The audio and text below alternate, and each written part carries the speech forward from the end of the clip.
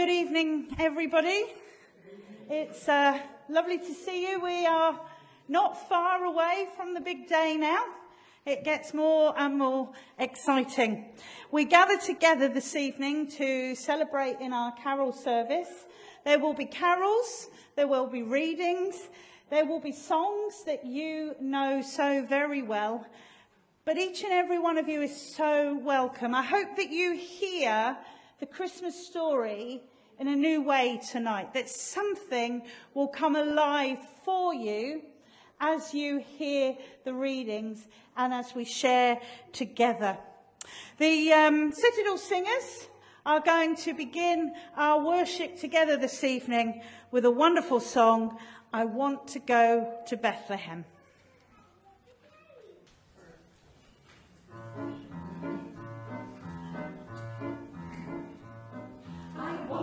To Jesus'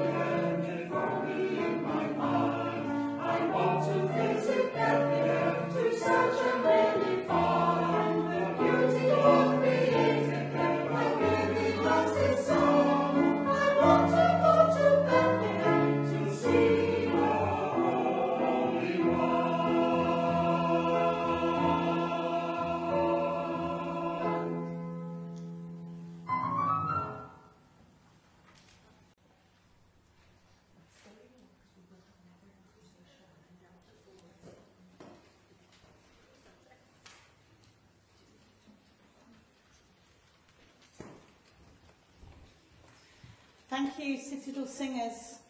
You've actually brought home that message that I think each one of us might want to go to Bethlehem, even if only in our mind, not to actually go to Bethlehem, but to meet with our Lord Jesus. And of course, our time of Advent is a time when we prepare for the coming of a king.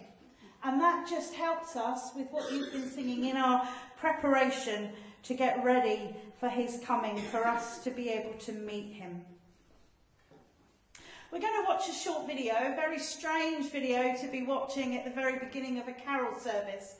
But I find it an absolute blessing that we as a church can bless a charity within Northern Ireland or perhaps somewhere different to thank them for the work that they continue to do in the fight for something.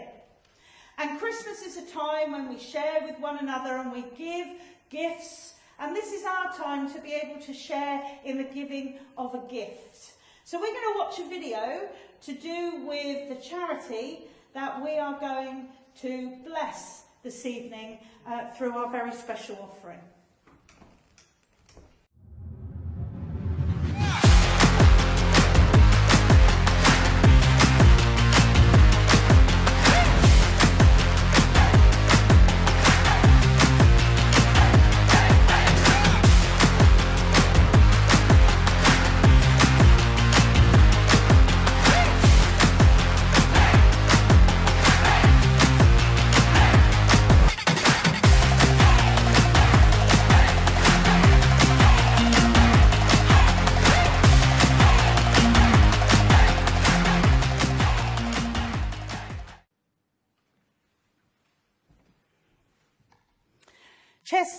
And stroke within Northern Ireland.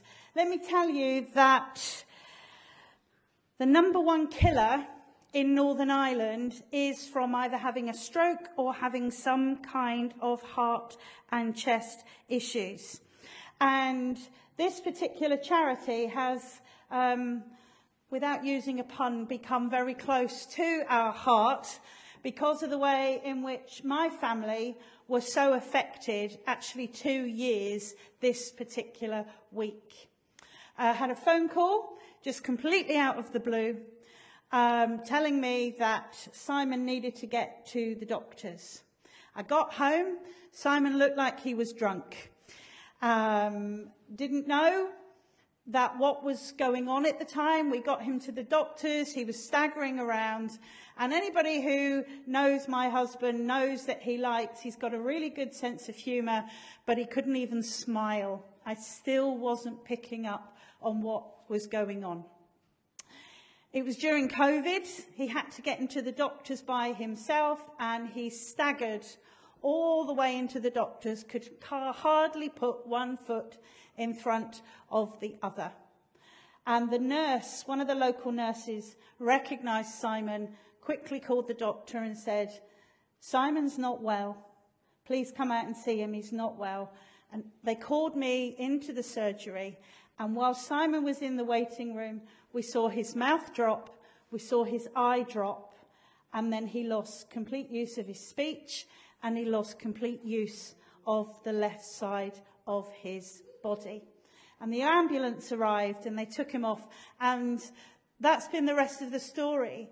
Really, that Simon um, nearly lost his life to having a stroke just two years ago now. Um, when he was taken into hospital, he was completely paralyzed on his left side. He could, he, he could hardly talk, he couldn't drink. They wouldn't let him drink because they were worried that his, his throat was completely paralyzed and he might not be able to swallow. But through the life-saving efforts of those doctors, through a block-busting drug that broke down the clot that had built in his brain, that broke down. The clot going towards his heart, that broke down as well. And the doctors did an amazing job to save his life. Simon was in hospital with that stroke and all the stroke symptoms for seven and a half weeks. And he came home and joined us. And this is what I love about this charity that we're supporting.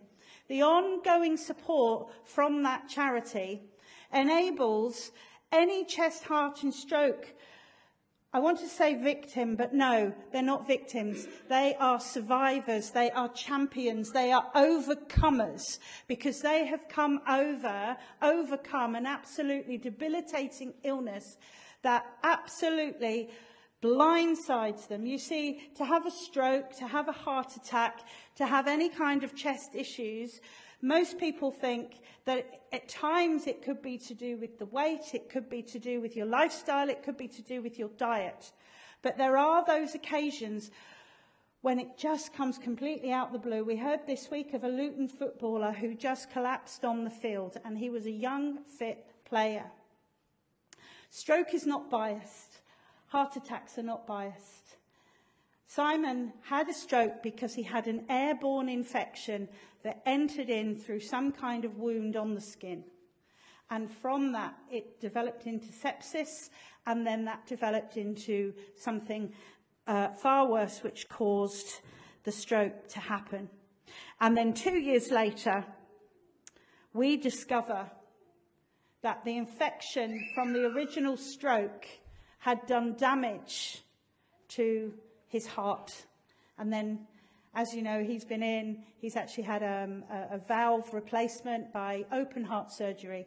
And again, the chest, heart, and stroke unit are there supporting him. What they do that many people won't know about, once the hospital um, releases, discharges patients from their care, there is a little subgroup that will get in touch with any overcomer, with any member or person who has been inflicted by, some kind of stroke or heart issue, and they will say, we have this particular course that might help you in some way. And they give a 12 week course of exercise, they talk about nutrition, they give all the information that is needed about helping them to get healthy and to build up on all of the muscles that have been lacking after having the stroke.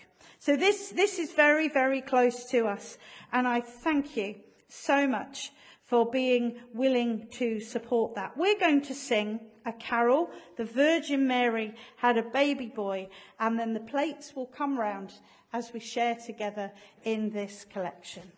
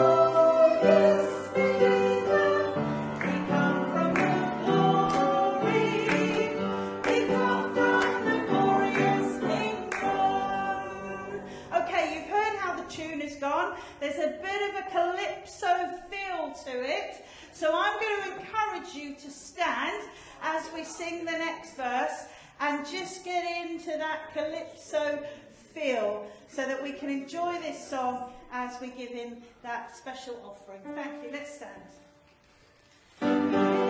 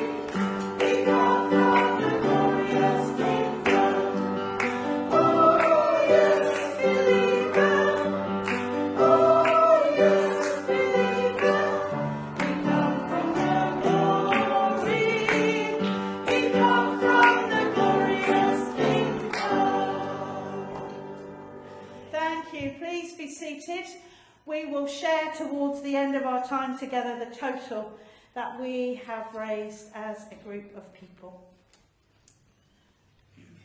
Thank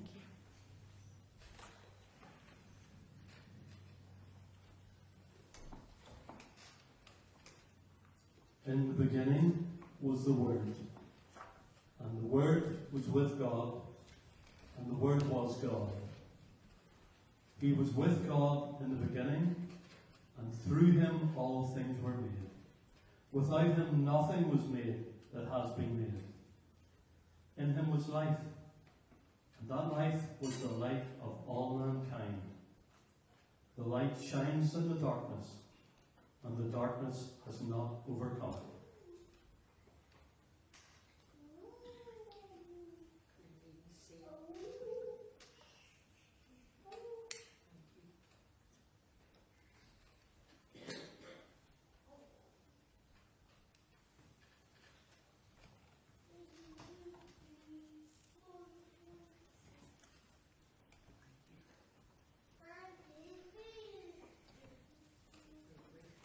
We're going to sing.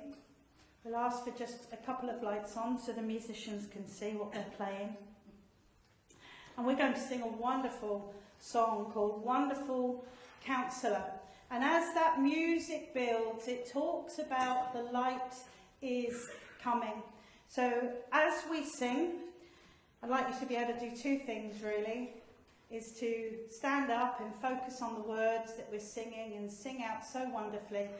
And then I'm going to um, uh, hand out these candles. And as you receive a candle, if you could just pull out the little tag and then get that candle to light so that we've got a build up of light happening in this hall. So let's stand and let's sing together.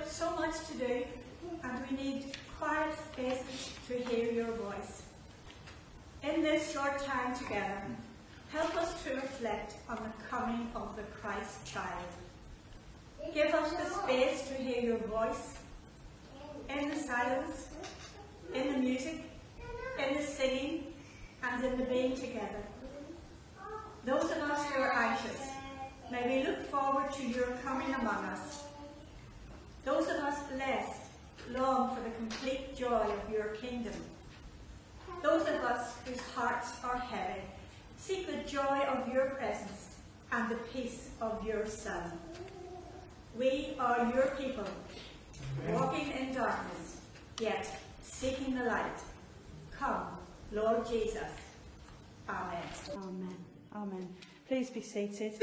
And I invite you to take your candles home. If we'd had complete darkness, we would have seen the candles being lit up all around the room. We will get them across to the band at some point. But as the light, as we sang, the light will come. If we were in complete darkness, we would have, oh, thank you, we would have seen that light building up and building up. And so I invite you, when you're at home and you've got some time, just to be still in the quietness, in the preparation for Christmas Day, to light that candle and saying, We are your people seeking the light. Come, Lord Jesus.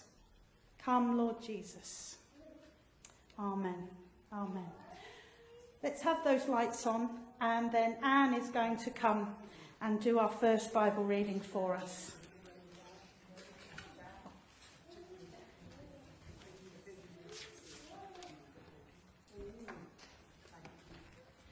Our reading is taken from John chapter 1, 9 to 14. The true light that gives light to everyone was coming into the world. He was in the world, and though the world was made through him, the world did not, did not recognize him. He came to that which was his own, but his own did not receive him. Yet to all who did receive him, to those who believed in his name, he gave the right to become children of God. Children born not of natural descent, nor of human decision, nor a husband's will, but born of God. The Word became flesh and made his dwelling among us. We have seen his glory, the glory of the one and only Son, who came from the Father, full of grace and truth. Amen. So we're going to sing again a wonderful carol. Oh, come, all ye faithful. Of course, we don't sing the very last verse of this song until we get to Christmas Day. And uh, that's one that you'll have to sing in your own homes, greeting him into your home on that morning. So we'll remain seated, so we're not up and down, up and down, up and down tonight, but we will sing with absolute gusto as we sing together, O come, all ye faithful.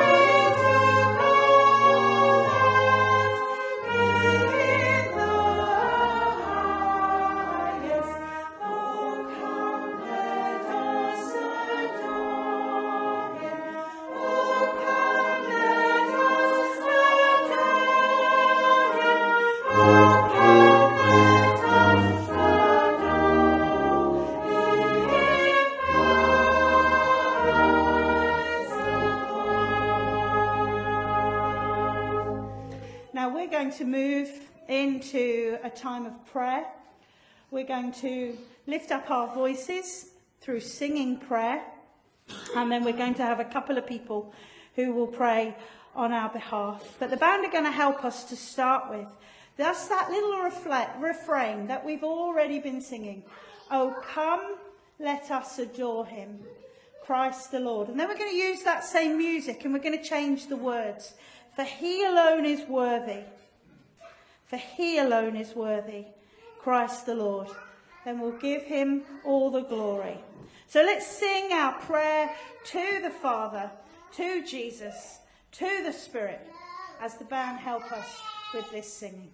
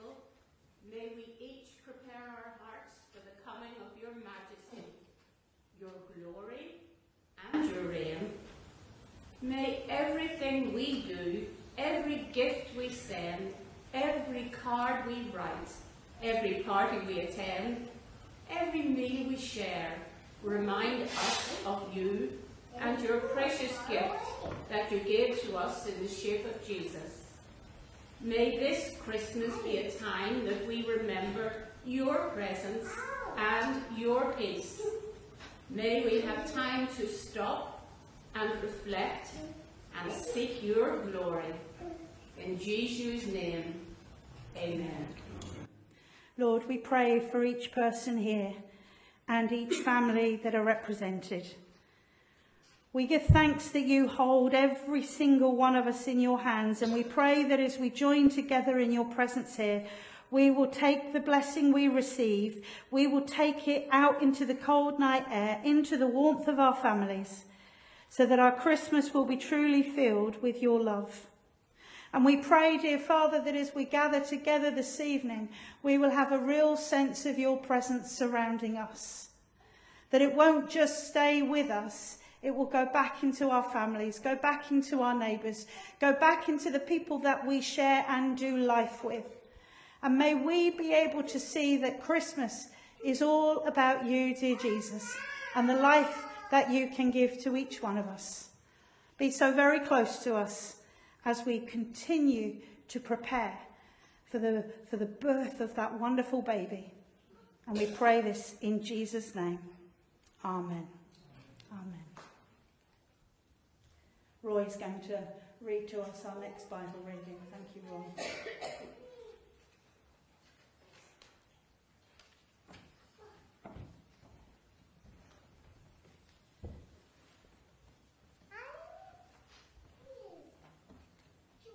Is taken from Matthew chapter 1, verses 18 to 24. This is how the birth of Jesus of Messiah he came about. His mother Mary was pledged to be married to Joseph, but before they came together, she was found to be pregnant through the Holy Spirit. Because Joseph, her husband, was faithful to the law and yet did not want to expose her to public disgrace, he had in mind to divorce her quietly. But after he had considered this, an angel of the Lord appeared to him in a dream and said, Joseph, son of David, do not be afraid to take Mary home as your wife, because what is conceived in her is from the Holy Spirit. She will give birth to a son, and you are to give him name Jesus, because he will save his people from their sins. All this took place to fulfill what the Lord had said through the prophet The virgin will conceive and give birth to a son, and they will call him Emmanuel, which means God with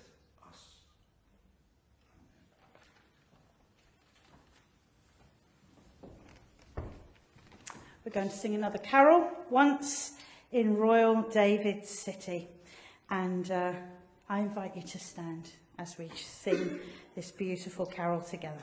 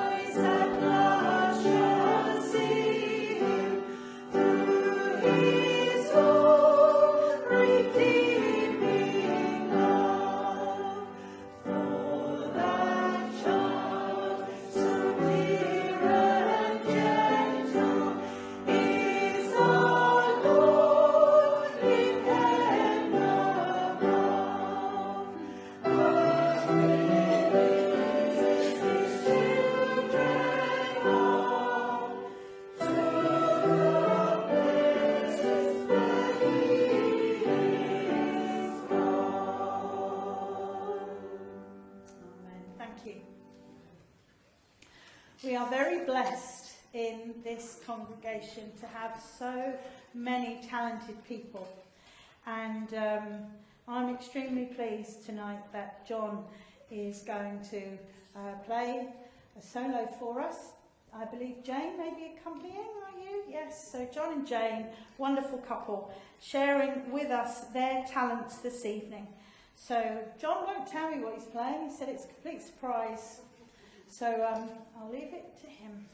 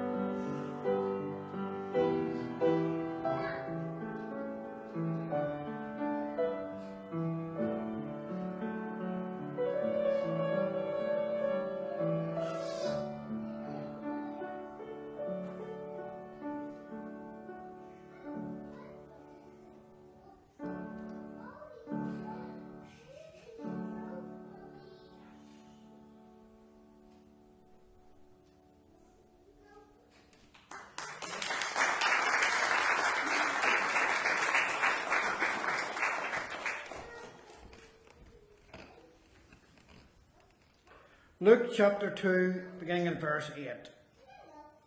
And there were shepherds living out in the fields nearby, keeping watch over their flocks at night. An angel of the Lord appeared to them, and the glory of the Lord shone around them, and they were terrified. But the angel said to them, Do not be afraid. I bring you good news that will cause great joy for all the people. Today, in the town of David, a Saviour has been born to you. He is the Messiah, the Lord. This will be a sign to you. You will find a baby wrapped in cloths and lying in a manger. Suddenly, a great company of the heavenly host appeared with the angel, praising God and saying, Glory to God in the highest heaven, and on earth peace to those on whom his favour rests. When the angels had left them and gone into heaven, the shepherds said to one another, Let's go to Bethlehem and see this thing that has happened, which the Lord has told us about. So they hurried off and found Mary and Joseph and the baby, who was lying in the manger. When they had seen him, they spread the word concerning what had been told them about this child. And all who heard it were amazed at what the shepherd said to them. Amen.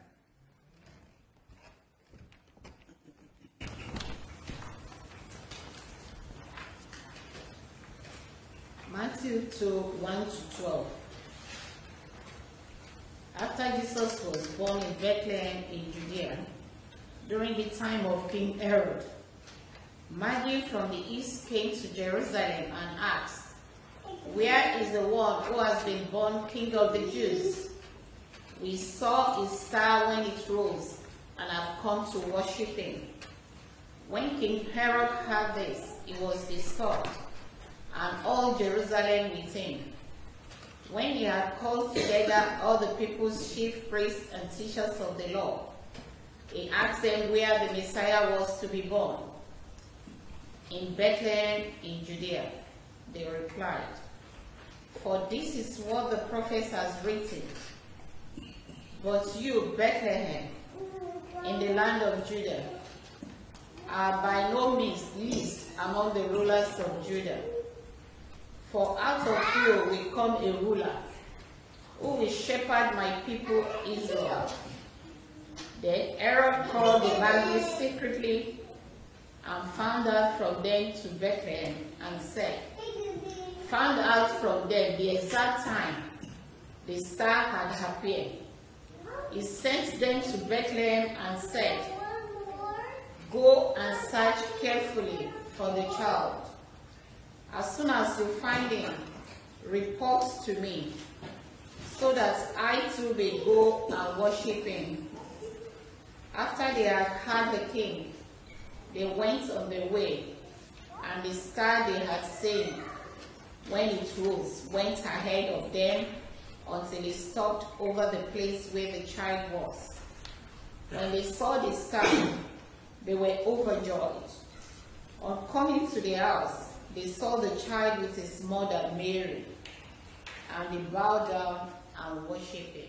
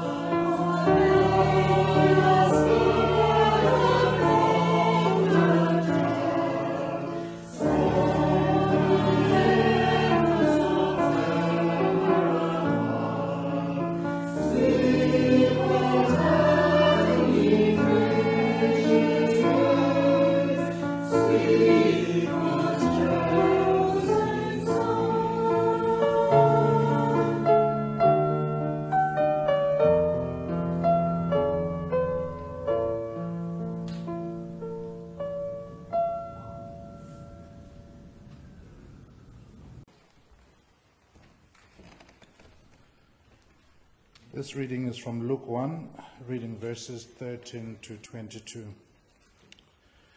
The angels say to him, Do not be afraid, Zechariah. Your prayer has been heard. Your wife Elizabeth will bear you a son, and you are to call him John. He will be a joy and delight to you, and many will rejoice because of his birth, for he will be great in the sight of the Lord. He is never to take wine or any other fermented drink, and he will be filled with the Holy Spirit even before he is born. He will bring back many of the people of Israel to the Lord their God, and you'll go on before the Lord in spirit and power of Elijah to turn the hearts of the parents to their children and the disobedient to the wisdom of the righteous, to make ready a people prepared for the Lord. Zechariah asked the Lord, How can I be sure of this? I'm an old man, and my wife is well along in years. The angel said to him, I am Gabriel. I stand in the presence of God, and I've been sent to speak to you and tell you this good news. And now you will be silent and not be able to speak until the day this happens, because you did not believe my words, which will come true at the appointed time. Thank you.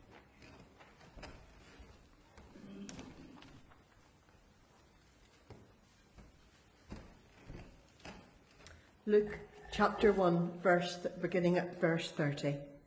But the angel said to her, Do not be afraid, Mary. You have found favour with God. You will conceive and give birth to a son, and you are to call him Jesus. And he will be great and will be called the Son of the Most High. The Lord God will give him the throne of his father David, and he will reign over Jacob's descendants forever. His kingdom will never end. How will this be? Mary asked the angel, since I am a virgin. The angel answered, The Holy Spirit will come on you, and the power of the Most High will overshadow you.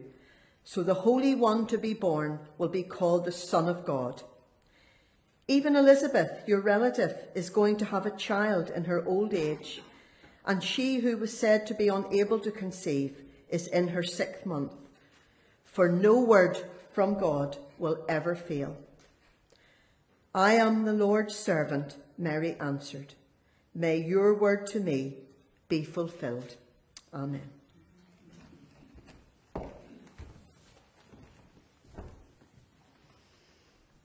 Now, this next carol that we're going to sing, you need to take deep breaths. You need to have both feet firmly planted on the floor.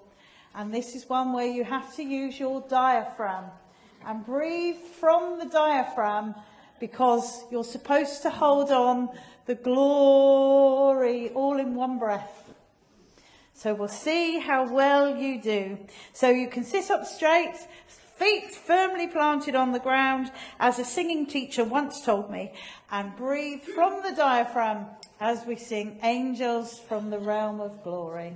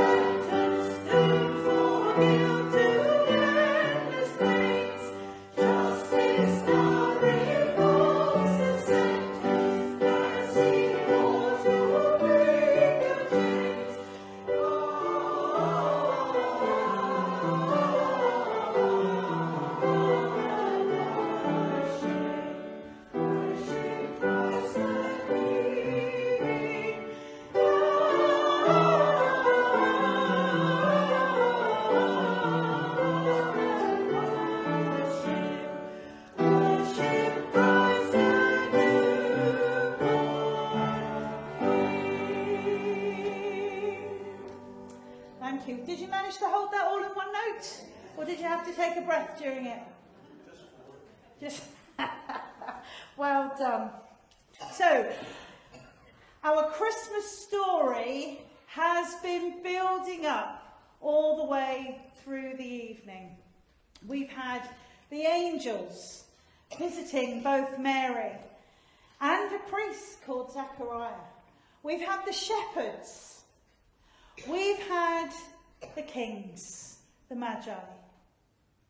We've heard about this newborn babe.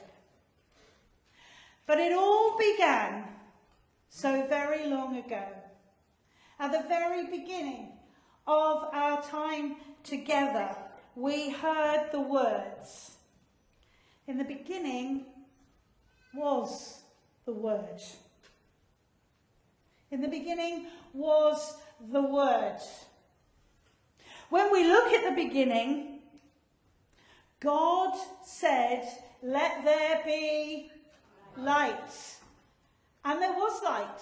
When God spoke, creation listened. When God spoke, something powerful happened and creation responded. In the beginning was the Word. When God commanded, let there be light, there was light. You see, to the Jews, we, we use the word word, that it's actually a sound. If you put certain letters together like the phonetic alphabet and you put words together, ka-ata, it makes a word. Ka-ata, Oh, da-og. We can put words together through the sounds that we make. But for the Jews, in the beginning of time, a word was more than just a sound. Yes, the sound formed a noise, but this word was an independent existence that actually did something. At every stage in the beginning, we read in Genesis, and God said. And when God said it, something was created. A word flew into being. The word of God, a creative power. Now, when scholars try to translate parts of the Bible, they use the Greek. Because Greek was a universal language back in the time of Jesus. It was a language that a lot of people were trying uh, to learn and to use. It was the most used language, and so many things were written down in the Greek. And so when scholars try to look back at the Greek language, they get more of a historical account. And there are historical accounts of Jesus walking on the earth. There are historical accounts of, of a star being in the sky brighter than any other star that shone at that time. And when scholars look back over, they can look at the, these historical events and it is proven through the history books that everything we read about in the Bible happened towards Jesus' birth. Yes, there was a Roman census. Yes, the astronomers were reading the stars and they could see that there was a light that was brighter than anything else. Everything was building up in this wonderful account. And so in the Greek, this word, in the beginning was the word. The Greek used the term logos. Some of you might have heard that phrase used before, logos, meaning word. Now, bear with me as this gets interesting. I'm sure you didn't expect to come for a theology time tonight, that you came to hear about the baby being born and it all being lovely, warm, and cozy. But I want it to be more than just that. I want something to root down that you go, ah, oh, that is absolutely amazing. Logos doesn't just mean word, it means reason. So for the writer of the John's Gospel who said, in the beginning was the word, he was also meaning in the beginning there was a reason for the earth to come into existence. Not only was there this breath of word, but there was a very reason for the world to come into existence. In the beginning was the Word, and the Word was with God, and the Word was God.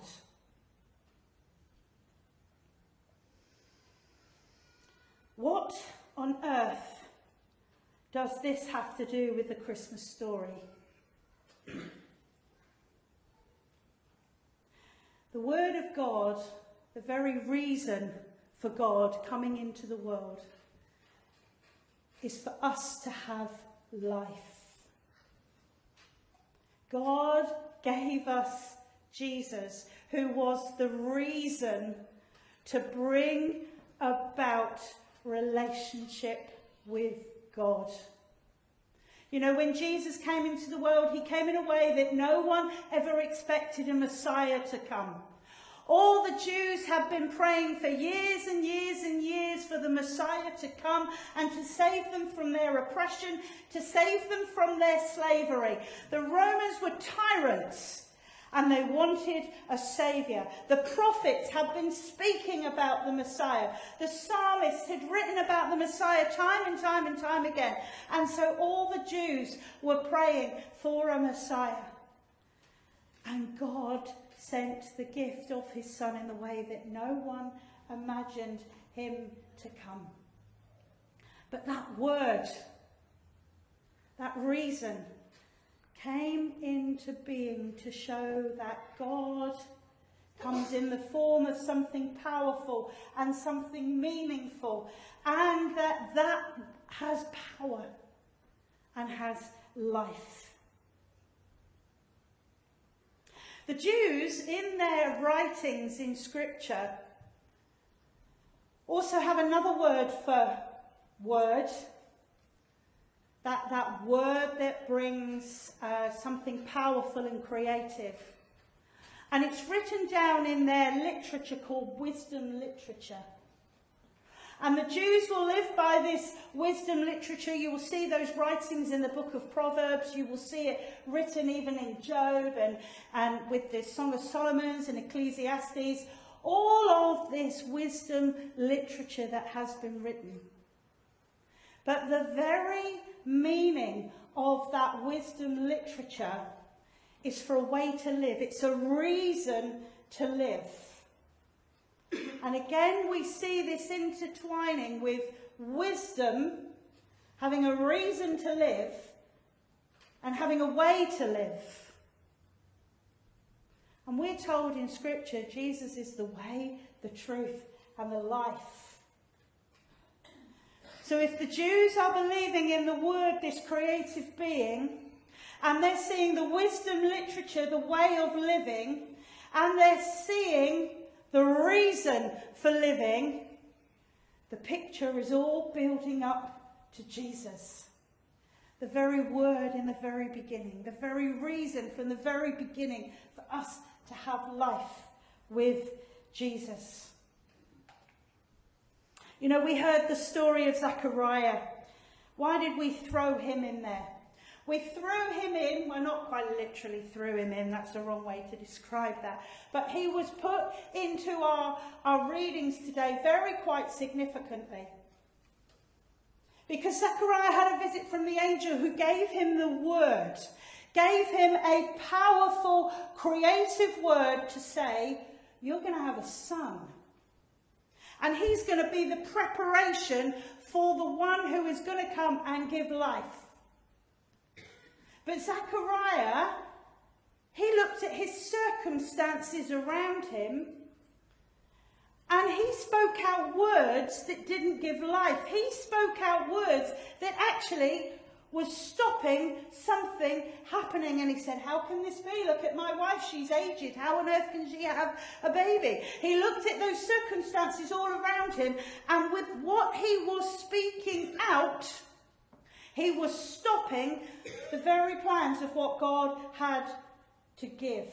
And the angel said, Until you see it, you're not going to believe it, and therefore you are going to be silenced. His silence enabled the plans still to go ahead. And then let's quickly look at Mary, who we also had in our readings. This girl of perhaps 13, 14, 15, maybe just a little bit older. She'd studied the scriptures, she'd been told about the scriptures, and yet she believed. She loved God with all her heart, her soul, and her mind, just as Scripture had told her to. And when she is visited by the angel, she doesn't say, Oh, this can't possibly happen. I'm so young. How are you going to use me at my young age? She didn't look at the circumstances around her. She believed in the word of what the angel was saying because she wanted the life that God had to give her. And she said, Let it be to me as you have said. You've got a priest who has been in the temple for years and years and followed God all his life, who knew all the rules, all the regulations, and yet could not believe the word of God when it was given to him. And then we have this young girl who has heard the scriptures perhaps all of 16 years and has said, God, give me that life and let it be to me as you have promised. Oh, may that word be fulfilled. She didn't look at the circumstances as Zechariah did.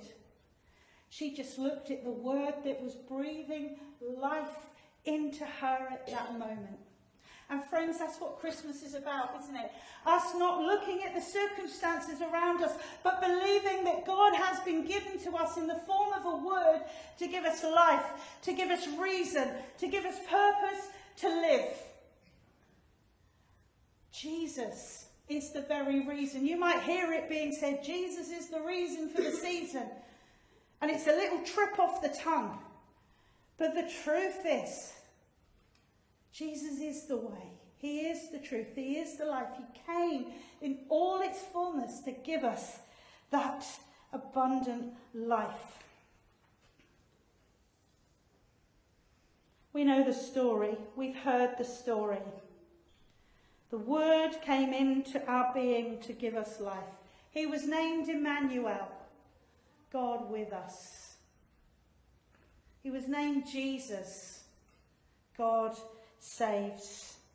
He was named Prince of Peace, Wonderful Counselor, Mighty God, Everlasting Father. All the names that Jesus was given was to show us that we never have to live the life that we're living alone.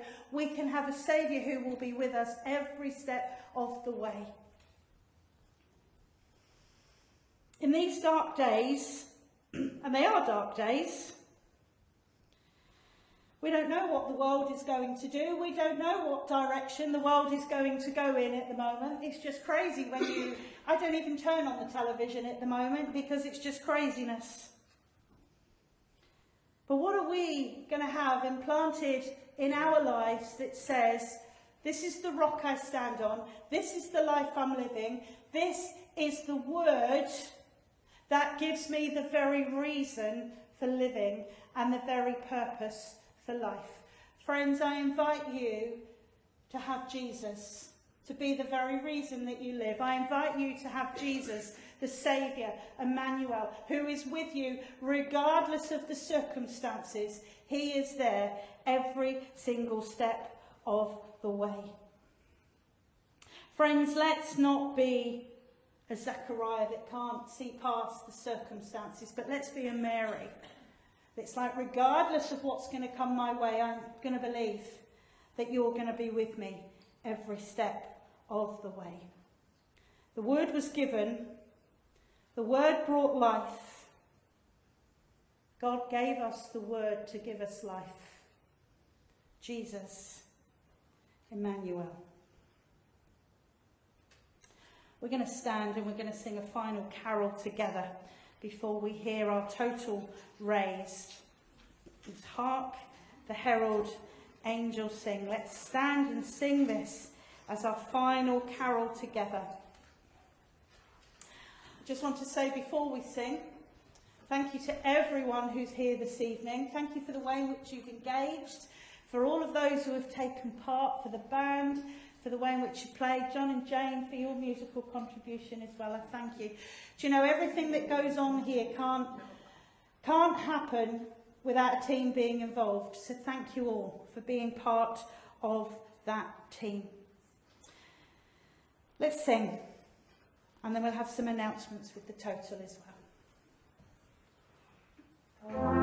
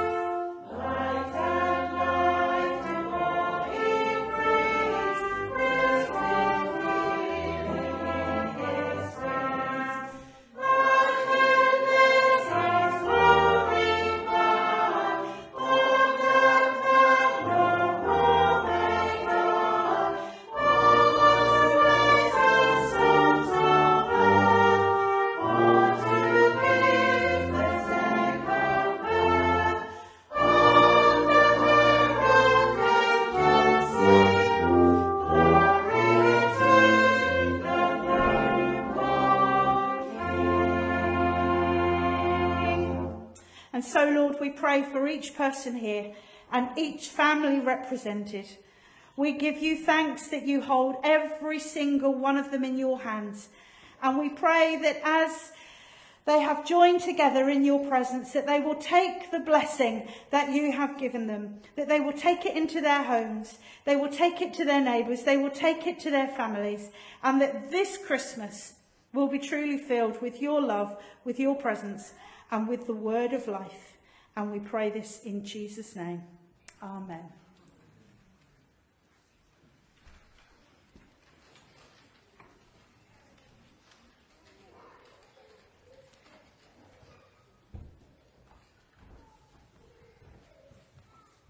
Well, thank you for coming along this evening. What a miserable evening it's been, and uh, I think that's kept some people away. But you've come along. Thank you very much for joining with us this evening. Uh, I think the first thing I should do is to announce the total. And the total raised this evening for the Northern Ireland Chest, Heart and Stroke Association is £600. Well done. Thank you so much.